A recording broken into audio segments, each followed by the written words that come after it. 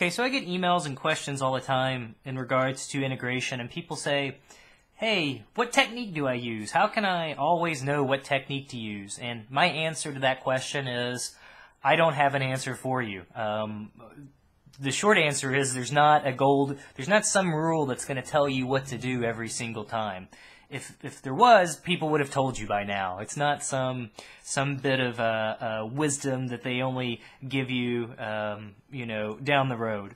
This is the the difficulty with integration is it's not always clear what to do. But let me show you at least. Maybe I can pick out some slightly more challenging examples where it's not always clear what to do, and let me show you how I tend to approach them, and uh, at least think about them. So. Again, maybe this one's not the most impossible problem in the world. Maybe it's, maybe it is challenging for you. So, I don't know. I guess I would ask you, do you know how to integrate 1 plus e to the x over 1 minus e to the x dx? Do you know how to do that? Well, I don't know it right off the top of my head, and that's actually something I, I ask myself. Okay, when it comes to integration, I think, do I just immediately know an antiderivative for that function? Or is it something that I should know? And, you know, it's kind of a vague question, but obviously you have to know lots of just basic antiderivative formulas. So, this to me is probably not one that I should know immediately, and, it, and it's not. But then I think, you know, is there any sort of algebra or maybe some sort of trig identity I can use to turn it into something that I know? Well, you know, algebra, maybe there is some algebra to do. I'm not positive off the top of my head. I definitely, you know, there's no trig, so certainly it's not a trig identity, but that's something that I keep in my keep in the back of my mind. Okay, if I don't know it, the next thing I think of is can I use a u substitution?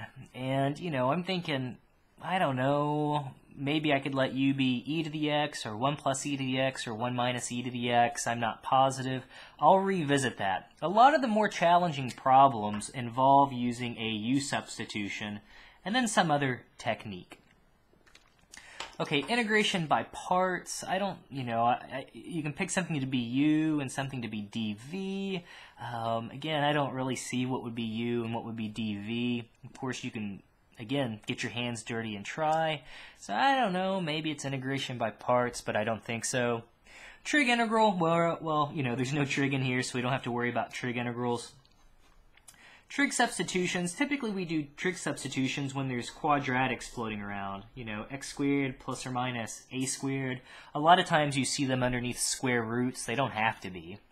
Um, but certainly I don't see that in the present situation. So I think, well, it's not trig substitution.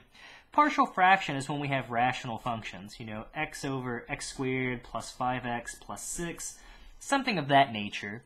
Well, this is not a rational function uh, because we have e to the x floating around. So I think, well, it's not partial fractions either. So now, well, I've kind of got it narrowed down to two things. It's either a u sub or integration by parts. So I'm going to try to do a substitution here. The thing that's sort of throwing me off, that makes me, I guess, uncomfortable, is this e to the x. So I'm going to let u equal e to the x, and I'm going to solve for dx, and to do that I'm going to take the natural logarithm of both sides. So we'll have the natural logarithm of u equals the natural logarithm of e to the x, which is just x. And now if we find our differential, we'll have 1 over u du on the left, and we'll just have 1 dx on the right. Okay, so now let's use this stuff and see if this has helped us at all. Well, I guess we'll have 1 plus u in the numerator. Then we'll have 1 minus u. And then we just said dx is 1 over u du. And now I'm actually starting to feel pretty good about this. Okay, so I'm not going to multiply out the denominator. Because now I'm recognizing this, after doing the substitution, I recognize this as actually being a partial fractions problem. And for partial fractions, we try to factor the denominator as much as possible. So there's really no good reason. That's why I didn't multiply them. I recognize that. We want it factored anyway. So I'm just going to leave it alone. So now I think, aha, I'm kind of off and running. So I'm going to do my partial fractions decomposition. We have 1 plus u over u times 1 minus u.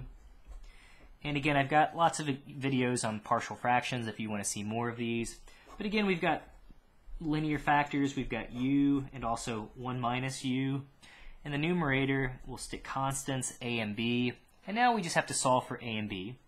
So if we multiply both sides uh, of our equation by u times 1 minus u, we'll have 1 plus u on the left. On the right, we'll be left with a times 1 minus u plus b times u.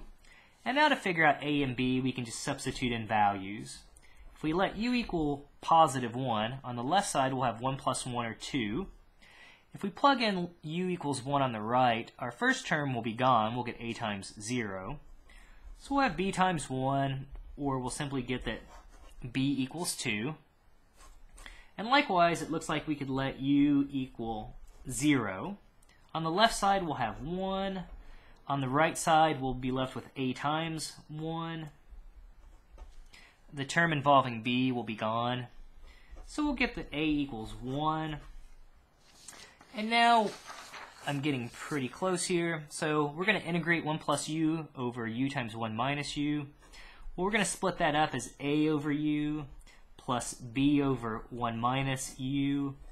Again, we just said that a equals positive 1 and b equals positive 2.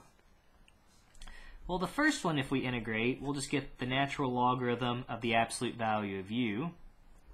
For the second, we'll get the natural logarithm of 1 minus u divided by negative 1. And again, I recognize that they're natural logarithms. You have a linear factor in the denominator. Whatever the coefficient is on the variable, you have to divide by it. And again, if you want to see this, you know, just do a, uh, a u substitution. So for example, on the second part, maybe we let t equal 1 minus u. dt would be negative 1 du. So we'll divide by negative 1. And then we're going to be integrating, well, let's see, we've got negative 1.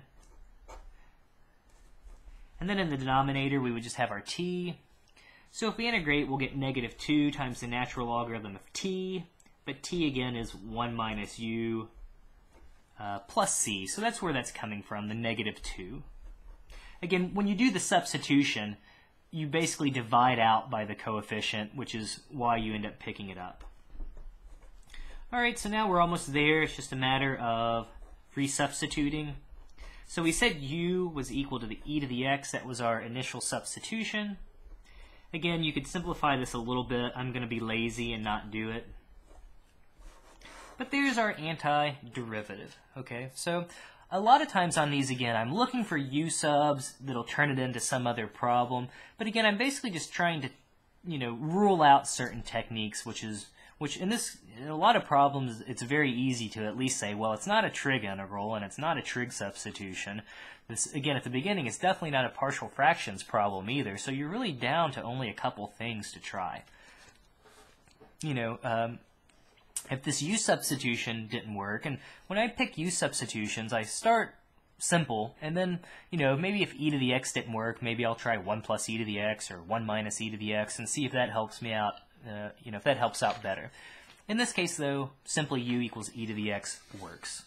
So I'm going to do some more quote-unquote challenging integral problems where they take you quite a few steps.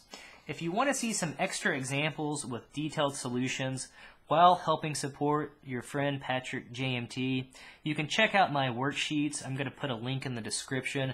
I've got 30 uh, challenging integral integration problems with detailed solutions that uh, you can uh, uh, purchase for a, a very reasonable rate if you are so inclined. So, um, but by all means, I'm definitely going to do some other videos and some other examples of these as well.